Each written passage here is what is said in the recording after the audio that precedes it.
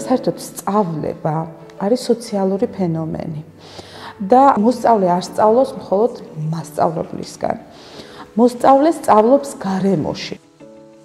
არიან კლასში ისეთი მოსწავლეები, რომლებმაც თუ ხელი არ მოკიდეს, თუ ხელში არ მოსინჯეს, თუ არ გამოძერწეს, თუ არ დახაზეს, დაწერეს, სხვანაირად ვერ ისწავლიან ამ ყველაფერს. წარმოიდგინეთ ახლა დისტანციურად და თანაც ტელეფონით.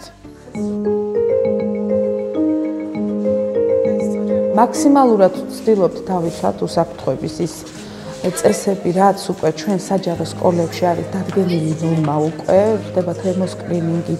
ძალიან მნიშვნელოვანია პირბადის ტარება, სადიზინფექციო ხსნარით ხშირად ხდება ხელის დამუშავება და ძალიან კარგად მუშაობს სხვათა შორის ეს ყველაფერი.